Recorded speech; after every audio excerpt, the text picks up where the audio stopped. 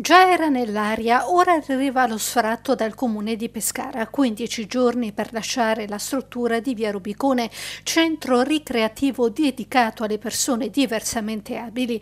Al suo posto nascerà un asilo nido. Incontriamo Cristina Celsi, presidente dell'associazione Sottosopra, ci racconta una vicenda che va avanti da tempo.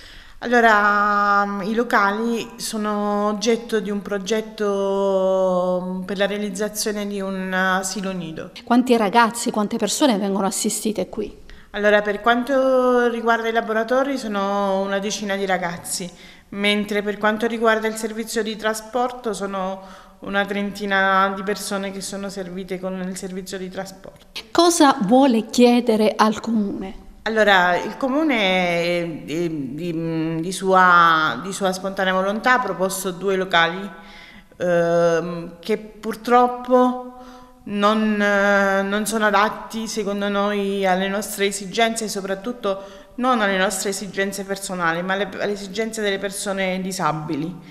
E quindi noi, come dicevi tu, non è che, facciamo, che non, vog- non vogliamo andare via da qui, da qui ma cerchiamo solamente dei luoghi adeguati dove i ragazzi possono svolgere le loro attività. Cristina vuole rivolgersi anche ai privati per non vanificare quanto fatto in otto anni. D'altronde la stessa associazione ha portato migliorie a questi locali. Allora noi sì, abbiamo, eh, siccome come dicevo anche al comune, abbiamo delle carrozzine elettroniche, abbiamo carrozzine abbastanza ingombranti, abbiamo rifatto il bagno per disabili a norma, abbiamo subito due furti e uno scasso e quindi abbiamo messo eh, l'allarme.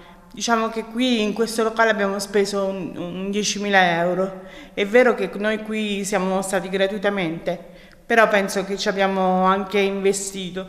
Cioè tutti gli anni abbiamo ritinteggiato le mura, pulito il giardino, tutto, tutto a spese nostre, insomma ma appunto noi non chiediamo di rimanere qui perché eh, figuriamoci se ci mettiamo a fare le lotte per un asilo nido, chiediamo solo no, anche noi un posto adeguato a noi.